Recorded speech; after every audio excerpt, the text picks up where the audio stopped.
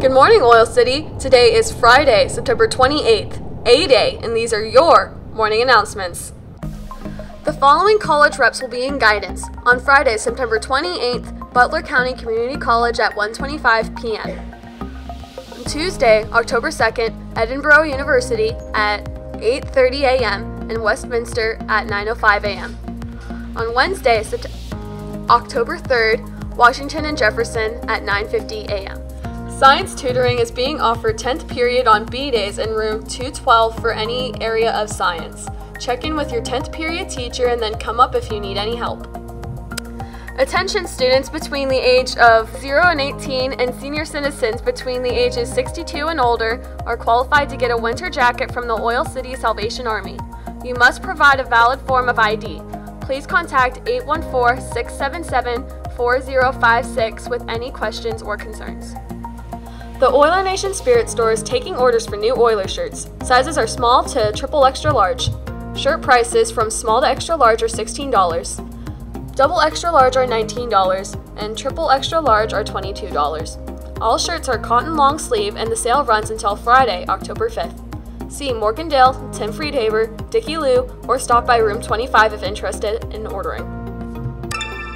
Banned Books Week 2018, the annual celebration of the freedom to read, will be held September 23rd through the 29th. The 2018 theme, Banning Books Silences Stories, is a reminder that everyone needs to speak out against the tide of censorship.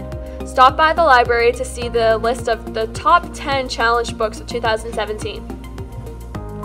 Orders for the 2018 2019 yearbook will be taken during all lunch periods from September 26th to October 10th.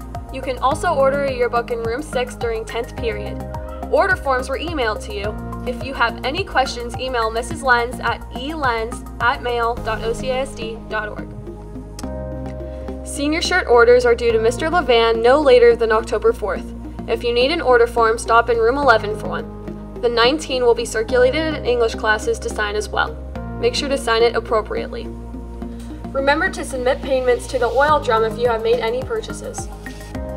Be sure to vote for what you want to buy at the oil drum this year. Forms to vote are available via school email from Miss Palmieri. Congratulations to this week's Student of the Week, Riley Merwin. Please stand for a moment of silence.